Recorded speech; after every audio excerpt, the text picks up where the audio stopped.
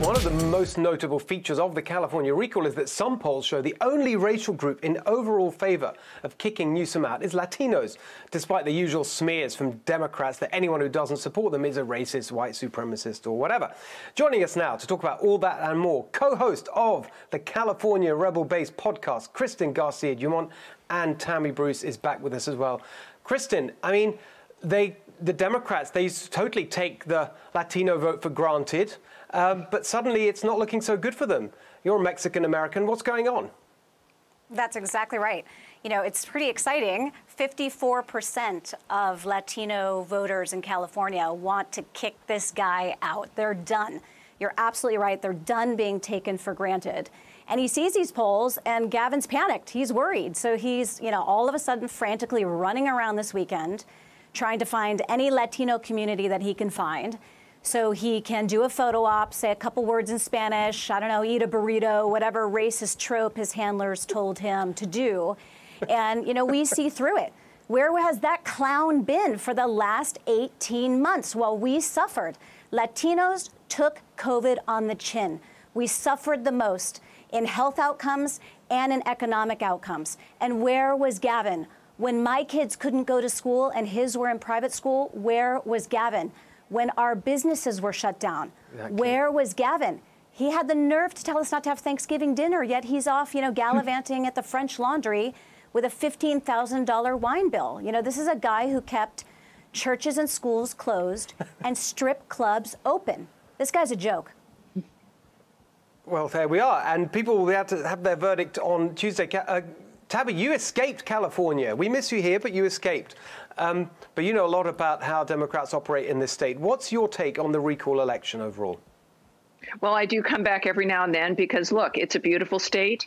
Uh, it is worth saving. We can't abandon it. It is an important part of American history uh, with all the mix of who we are as Americans. Uh, and so, yes, I mean, it's a magnificent place. But for me, and having been involved somewhat in the, the Gray Davis recall, is that we know that Californians in general, we still are rebels at heart. Uh, we want freedom. And this is what's interesting uh, about the Hispanic community is that generally it's about fleeing uh, tyranny from South Central America. It's about wanting the freedom to be able to find the dream for your family, which is what every American family wants. Uh, mm-hmm. They're a group, a group of, of people of faith. And they noticed when they couldn't go to their churches. And all of this felt like and smelled like the tyranny that they or their ancestors fled so many years ago. And it's about standing up for what it is you've given everything up for. Uh, and there's a passion to that. And that is part of what, of course, makes this country great. But what I'm thinking for California, and because so many people have left, is I'm not sure when it comes to the electorate who is there. This is about a get out the vote effort.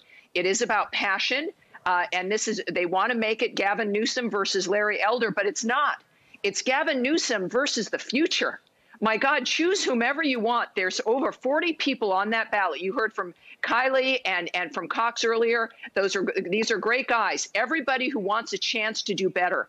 That's what Californians have to give themselves as a gift just for one year, because there's another election next November in 2022. Yeah. You know, giving them give someone a chance. Um, Californians are the wild, who are still the Wild West. We love our state. We know what's possible. We've seen it governed well. This is not normal what has happened here. Everyone deserves exactly. better because that election will affect the entire country. It's about saying to the, your fellow Americans, no matter where they come from, we are here for you. We get it. We're going to try this, yes. but let's do this together. And it's about saying we exactly. care about people well more than we care about political parties.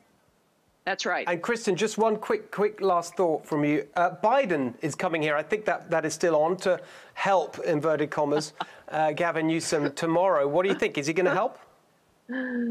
I don't. And you know what? As a Latino, I find the whole thing so offensive. I mean, I I, th- I think Biden is a fundamentally very racist man. Uh, he made this mm-hmm. horrible comment that the press really just glossed over about how Latinos don't want to get vaccinated because we're all scared we're going to be deported. You know, this is somebody who, to yeah. his core, thinks that the Latino community is just made up of entirely illegal immigrants. Um, and, you know, we're sort of nothing to him. So, you know, it, it just really is fitting that somebody okay. like that would come out to, to campaign for Gavin because they don't have any regard for the Latino community.